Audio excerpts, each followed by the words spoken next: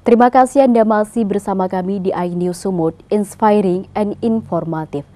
Pemirsa Wali Kota Medan Bobi Nasution mengaku kalau dirinya tak perlu lagi mengambil formulir pendaftaran sebagai calon gubernur Sumatera Utara dari Partai Golkar.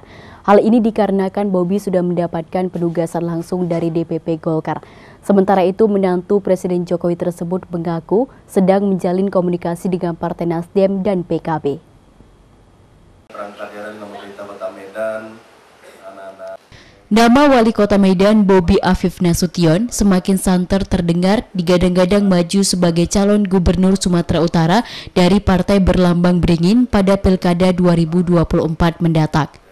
Usai menghadiri pengarahan Cakada di DPP Golkar di Jakarta beberapa waktu lalu, Bobi mengatakan dirinya tak perlu lagi mengambil formulir pendaftaran dikarenakan sudah mendapatkan penugasan dari Airlangga Hartarto. Namun Bobi belum menegaskan dirinya akan maju sebagai calon gubernur atau calon wali kota karena dari Partai Golkar Bobi mendapat dua penugasan sebagai calon gubernur dan calon wali kota.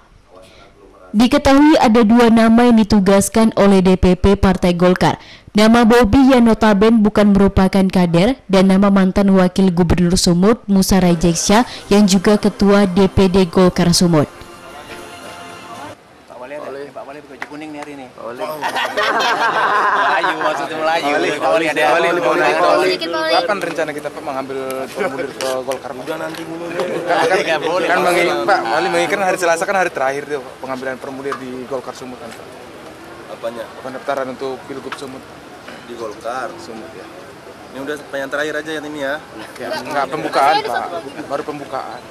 Yang diinfokan kemarin, yang diinfokan kemarin ya, bagi nama-nama yang sudah nama-nama yang sudah diberikan surat tugas, sudah diinfokan tidak perlu mendaftar lagi. Meskipun sudah mendapat penugasan dari Partai Golkar dan PAN, Bobi juga saat ini tengah membangun komunikasi dengan partai politik lain seperti Nasdem dan PKB.